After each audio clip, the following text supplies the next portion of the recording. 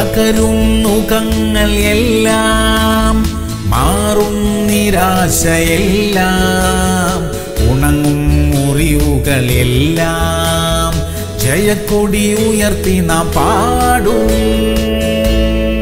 സങ്കീർത്തനം ഒന്ന് മൂന്ന്. അവൻ ആറ്റരികത്ത് നട്ടിരിക്കുന്നതും തക്ക കാലത്ത് ഫലം കായ്ക്കുന്നതും ഇല വാടാത്തതുമായ വൃക്ഷം പോലെ ഇരിക്കും. അവൻ ചെയ്യുന്നതൊക്കെയും സാധിക്കും. പ്രിയമുള്ളവരെ തിരുവചനം അനുസരിച്ച് ജീവിക്കുന്ന നമുക്ക് വേണ്ടിയുള്ള വാഗ്ദത്തമാണ് നമ്മൾ ഈ കേട്ടത്. ഇത് നമ്മുടെ ജീവിതത്തിൽ സംഭവിക്കും. നമ്മുടെ ജീവിതം പുഷ്ടിയുള്ളതായിരിക്കും. തഴച്ചു വളരുന്നതായിരിക്കും. ധാരാളം ഫലം കായ്ക്കുന്നതായിരിക്കും. ദൈവാശ്രയത്തോടെ നമ്മൾ കൈവയ്ക്കുന്ന എല്ലാറ്റിലും അനുഗ്രഹം. സ്തോത്രം. ഈ മനോഹരമായ ജീവിതാവസ്ഥ നമ്മുടെ എല്ലാവരുടെയും വ്യക്തി ജീവിതങ്ങളിലും കുടുംബങ്ങളിലും ജോലിയിലും ബിസിനസ്സിലും ശുശ്രൂഷകളിലും തന്ന ദൈവം നമ്മെ അനുഗ്രഹിക്കട്ടെ. പ്രാർത്ഥിക്കാം. സ്വർഗീയ പിതാവേ പരാജയങ്ങളുടെയും നഷ്ടങ്ങളുടെയും മുഖങ്ങൾ തകരട്ടെ. നിരാശകൾ മാറട്ടെ. മുറിവുകൾ ഉണങ്ങട്ടെ. അനുഗ്രഹത്തിന്റെ ഒരു വൻമഴ ഞങ്ങളുടെ ജീവിതത്തിൽ പെയ്തിറങ്ങട്ടെ. യേശു ക്രിസ്തുവിന്റെ നാമത്തിൽ തന്നെ. അമേൻ അമേൻ അമേൻ